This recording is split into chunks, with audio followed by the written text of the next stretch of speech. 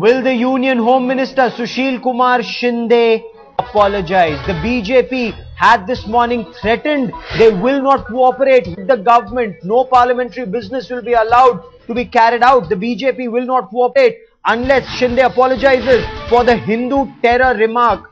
What we are told is that Shinde has faxed his statement to the BJP. Sources are saying that the BJP has approved the statement prepared by the Union Home Minister Sushil Kumar Shinde.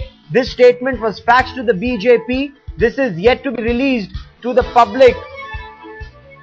Headlines today is Atish Srivastav now joins me for the latest. Atish, the BJP up the ante this morning. Take us through the latest.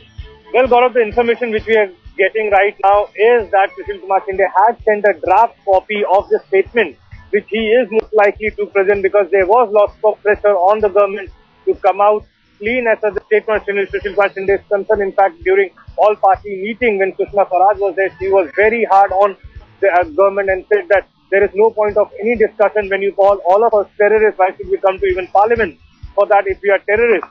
So after that, government really took it seriously that there is something to save themselves from embarrassment everyone got into the act and there was a strong likelihood that Sushil Kumar Shinde will probably make a statement and the statement was sent to BJP leaders which was discussed during NDA meeting and now they have conveyed it to them that the draft letter which was sent by Sushil Kumar Shinde is something which BJP would be pacified with. Do we know the details of this draft letter? It, it's been shared within the NDA. It's not just within the BJP now. NDA members also know about this?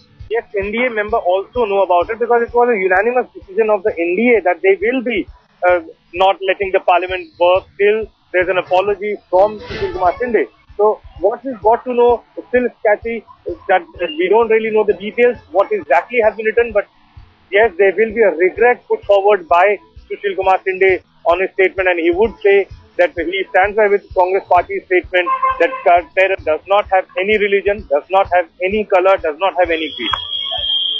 Okay, Atish Srivastav breaking this big story. The BJP had this morning said they will not cooperate with the government and there is a lot of important legislation that needs to be transacted in this budget session. There are several bills that the government wants and it needs the BJP's help and support. But whether it was Sushma Swaraj, leader of opposition in Lok Sabha or Arun Jaitley, leader of opposition in Rajya Sabha, they made it very clear they will not cooperate with the government until Sushil Kumar Shinde, the Union Home Minister, apologizes on the Hindu terror remark. Atish Srivastav now saying, now breaking the story that Shinde has sent his draft response to the BJP. The BJP and the NDA are learned to have approved that draft remark which will be made in parliament now and let me quickly bring in our political editor Javed Ansari for more on this story. Javed, what is it that the contents of this draft letter that's been sent to the BJP, what's the line that the Congress party is taking now? Well, the line is not very different from what Mr. Sandeep Dixit said earlier in the afternoon, that uh, they say that terror has no religious connotations.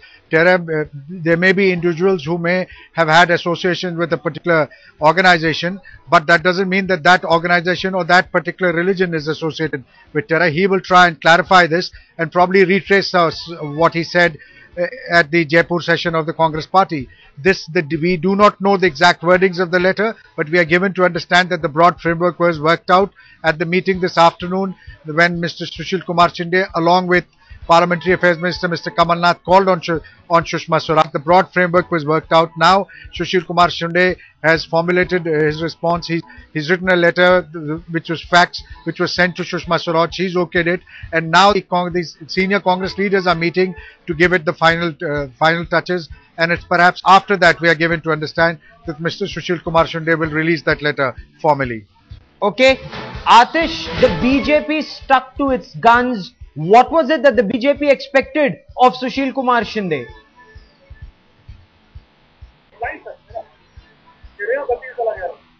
Atish, can you hear me? Yes, sir. I'll come to Atish Srivastav in just a moment. Javed, what is it that the BJP was insisting on? Initially they said, we want an apology, we'll settle down for nothing less, but is there a middle ground that has now been reached? Well, obviously in politics there's all, whenever there's a compromise reached, there is a middle ground.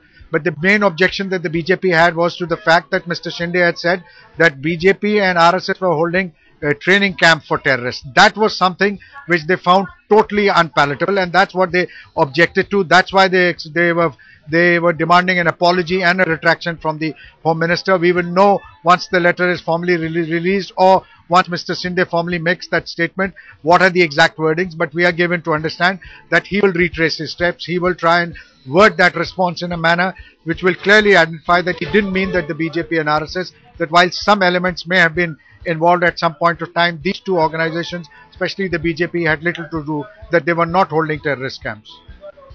Okay, let me also bring in senior political journalist Neerja Chaudhary uh, more on this story. Um, Neerja Chaudhary, is this a climb down for the BJP? They wanted a full apology, nothing short of short of an apology. Is there a middle ground that that has now been arrived at, ma'am? Yes, it's clear that they have both moved towards each other. Mr. Shinde expressing regret and yet saying that he stands by his party stand that terror has no religion. And uh, Sushma Swaraj and the BJP accepting his uh, expression of regret. So uh, I think you see they realize that the budget session has to, unlike other sessions, the budget has to be passed. And as for the government, they don't want to, you know, too much is at stake. The, they are moving into election season and uh, they don't want whatever they they're obviously going to present a populist budget so whatever be the impact they don't want it nullified by a Shinde affair or a Kurien affair or uh, even Chopper Gate that's why Mr. Kamal Nath uh, offered to refer the matter to the JPC so they don't they want to defuse and the BJP also realizes that they cannot uh, go in for disruption beyond the point because Yes. it hurts them it's uh, people are not very happy when the entire political class resorts to disruption rather than dialoguing inside parliament. Neerja Chaudhary, Javed Ansari and Atish Srivastava for the moment. Many thanks for joining me. We'll track the story very closely.